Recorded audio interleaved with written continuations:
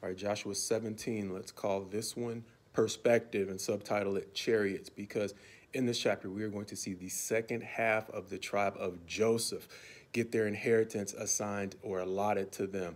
In chapter 16, we saw the first half, the younger son Ephraim get his inheritance, and now Manasseh, the older son, is going to find out which portions of the land his descendants are going to get to inhabit. And it's actually going to raise two problems. The first we've already seen.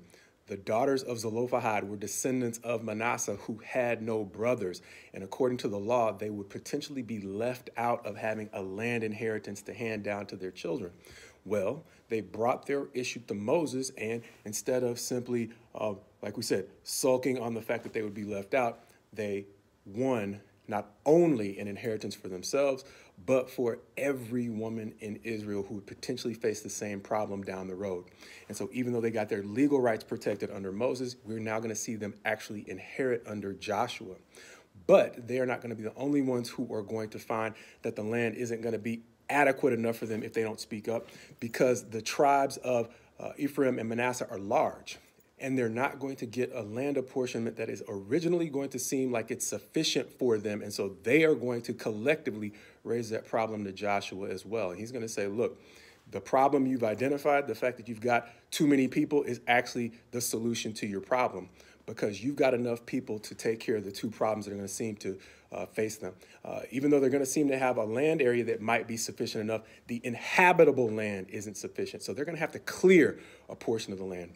The other problem that has the portion of land that they're getting uh, really less suitable for their numbers than it appears to be is the fact that it's still inhabited by Canaanites. And even though everybody's got to clear the land of Canaanites, not everybody has to clear the land of Canaanites who have chariots, which are um, in our modern day equivalent. It's like they got tanks and all we got are foot soldiers.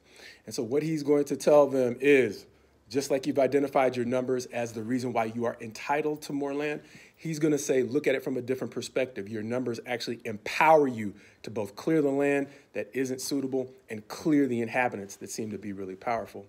And in giving them that advice, he is really uh, not isolating them out for rougher treatment. He's simply hearkening back to something we've already seen out of Caleb, who at 85 years old was told by God that he was going to have an inheritance that was inhabited by giants, but he didn't flinch. And the interesting thing about his response is something that I noticed about courage a while ago. I don't remember who first told it to me, but they said, look, courage isn't so much the absence of fear as much as it is the response to fear. See, because Caleb doesn't uh, seem like he's super confident in his own ability at 85 years old to keep fighting giants the way he did when he was 40. But what he says is maybe God will give me the ability just like he did back then. And so understand, Caleb wasn't any more confident in his strength than Manasseh should have been confident in their numbers.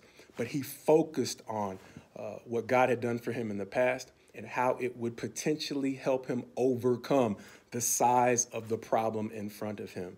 Compare Manasseh.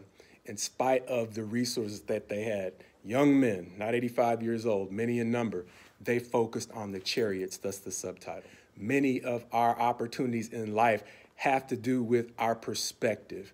Sometimes, given the same opportunity, if we look at the size of the problem, we will not be able to maximize our potential. And that is the thing that distinguished the early response of Caleb from the early response of the tribe of Manasseh.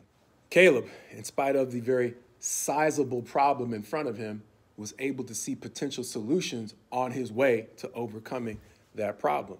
Manasseh, on the other hand, was about to be defeated before they were even able to start because they fixated on the chariot standing in their way instead of the numbers that they had that were potentially an even greater asset than what Caleb had working for him. Because they focused on the adversary and not the potential.